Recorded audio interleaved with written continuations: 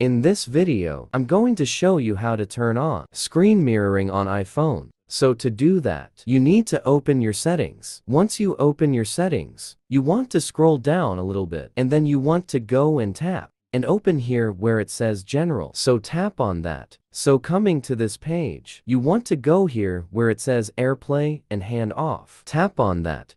And then coming to this page, you want to go on the first option right here. That says automatically AirPlay to TVs. So basically, you need to tap on that and this going to open this page right here. So most of the time, your phone is going to be having the first option that is on never, like mine right here. So what you want to do is that you want to set it to automatic. So basically, this will automatically connect to devices that you may use most of the times. So if we come back, and then at the top right corner to a home screen, all you just need to do is to swipe your screen to the downside and this going to open this control center. So you're going to see these two tabs right here, like these two screens right here. So if you tap on those two screens, if you open this option right here, this going to show all the devices that are online. Or you just need to do to connect to a device is to choose the device that you want to connect to and you'll be connected to that device.